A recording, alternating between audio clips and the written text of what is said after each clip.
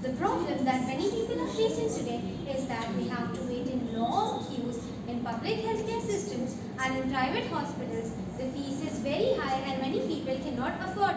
So, we came up with a solution to create a healthcare chatbot that will assist patient and give quick replies, solutions and tell the patient which medicines should they take. A chatbot is basically a computer program designed to simulate conversation with the human user, especially internet.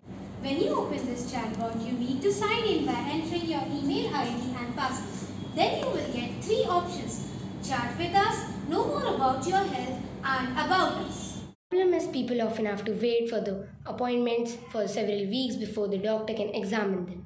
If you want to chat with us, you can briefly explain your problem and then we'll recommend you the solution for the problem like the diet you should maintain and the medication you should take, etc. Or if you choose the option about us, you can know more about us. And if you choose the option know more about your health, you can know how strong your immune system is.